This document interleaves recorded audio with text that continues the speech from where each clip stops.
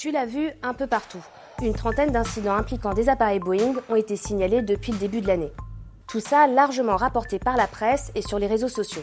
Des lanceurs d'alerte ont été entendus par les autorités américaines et deux sont décédés récemment. En juin, Boeing a présenté ses excuses et a reconnu une situation grave. Cette mauvaise passe pour le constructeur américain, elle a commencé en 2018 et 2019 avec le crash de deux Boeing 737 MAX qui ont entraîné la suspension de cet appareil pendant près de deux ans. Mais depuis, le 737 MAX a connu d'autres incidents et deux autres modèles, le 777 et le 787, sont également mis en cause. La FAA, l'agence américaine de l'aviation civile, a alors lancé une enquête sur ces trois appareils. Résultat, l'avionneur qui opère 10 000 avions de ligne contre 12 000 chez son concurrent Airbus a vu certains de ses appareils maintenus au sol et a remis le 30 mai dernier un plan d'action au régulateur américain. Malgré ces mesures, certains passagers sont devenus frileux à l'idée de monter à bord d'un Boeing. Alors qu'est-ce qui se passe chez Boeing? Où en est l'enquête des autorités? Doit-on remettre en question la sécurité de tous ces appareils? Ou est-ce que d'autres facteurs n'ont pas été pris en compte, comme la maintenance des compagnies, les erreurs humaines ou les conditions météo Je fais le point pour toi. Fondé en 1916, Boeing, c'est le mastodonte de l'aviation civile qui opère des milliers de vols par an depuis des décennies de transport de masse. Et avec finalement très peu d'accidents graves. Pourquoi? Parce que les pilotes font très bien leur métier. Et puis aussi parce que les nouveaux avions sont infiniment plus performants qu'avant. Des avions réputés fiables à la pointe de la technologie. Mais les derniers incidents aériens ont abîmé la réputation du constructeur aéronautique, une réputation déjà mise à mal depuis 2018, lorsqu'un Boeing 737 MAX s'écrase après son décollage de Jakarta et fait 189 morts. Cinq mois plus tard, un autre crash survient cette fois en Éthiopie. 157 passagers et membres d'équipage perdent la vie. La cause de ces deux drames, le système anti-décrochage du 737 MAX appelé MCASE. C'est un logiciel capable de prendre le contrôle de l'appareil pour empêcher une perte de portance. En 2020, un rapport du Congrès américain confirmera une anomalie de ce système qui a fait piquer l'avion. Aujourd'hui, les uns après les autres, plusieurs pays ont fermé leurs espaces aériens au Boeing 737 MAX. Une situation inédite dans l'histoire de l'aviation civile. Deux jours après le crash d'Ethiopian Airlines et cinq mois après celui de Lion Airlines en Indonésie. À l'époque, ces accidents poussent les pays européens, dont la Suisse, mais aussi la Chine, l'Inde ou encore le Canada, à interdire de vol l'appareil. Aux États-Unis, le président lui-même cloue au sol les 737 MAX. We're going to be issuing an emergency order of prohibition to ground all flights of the 737 MAX 8 and the 737 MAX 9. Il faudra attendre 20 mois et des modifications techniques pour que le 737 MAX vole à nouveau. Mais depuis le début de l'année, d'autres incidents ont impliqué cet appareil et d'autres modèles de Boeing. Le 5 janvier dernier, une porte d'un 737 MAX opéré par Alaska Airlines se décroche en vol. Dans la foulée, le régulateur américain ordonne l'inspection et le maintien au sol de 171 Boeing 737 MAX. Moteur en feu, décrochage d'une roue ou sortie de piste, d'autres incidents sur des appareils Boeing se sont enchaînés. Un 787 et un 777, malmenés par de fortes turbulences, feront respectivement 50 blessés et un mort. À la mi-avril, quatre lanceurs d'alerte, dont des employés anciens et actuels de Boeing, ont témoigné devant le Sénat américain et ont accusé l'avionneur d'avoir menacé un ingénieur et d'avoir ignoré des alertes. Ces lanceurs d'alerte, comme d'autres experts, ont pointé du doigt plusieurs défauts, notamment des trous mal percés dans des cloisons de pressurisation sur certaines configurations du 737 MAX. Ils ont aussi remis en question la durabilité des 787 et les nouvelles procédures d'assemblage des 777. D'après eux, Boeing a imposé au fil des années des objectifs de rentabilité plus exigeants au détriment de la conception et des contrôles qualité des appareils. Ensuite, l'entreprise, comme d'autres constructeurs, aurait rencontré des difficultés à recruter des ingénieurs qualifiés. Deux autres lanceurs d'alerte ont engagé des poursuites contre Boeing et sont décédés en avril et en mai dernier. John Barnett, ancien employé de l'avionneur, et Joshua Dean, ancien technicien d'un sous-traitant. D'après les autorités, John Barnett s'est suicidé et Joshua Dean est mort d'une infection bactérienne, deux décès proches qui ont alimenté les thèses complotistes.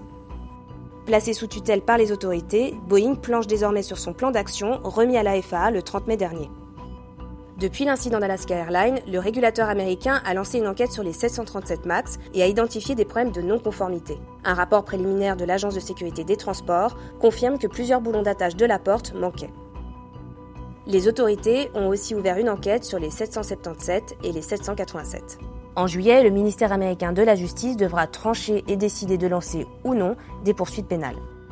Si pour les 777 et les 787, Boeing a dénoncé en avril des accusations infondées ou inexactes, l'entreprise a reconnu des erreurs pour les 737 MAX après l'incident d'Alaska Airlines. L'avionneur a déclaré que deux trous pourraient ne pas avoir été percés exactement selon ses spécifications.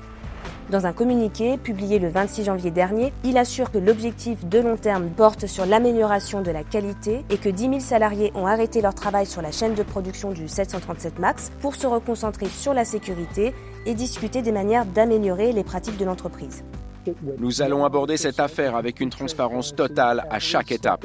Boeing a également annoncé le départ de son PDG Dave Calhoun à la fin de l'année et sa coopération avec le régulateur qui poursuit ses enquêtes.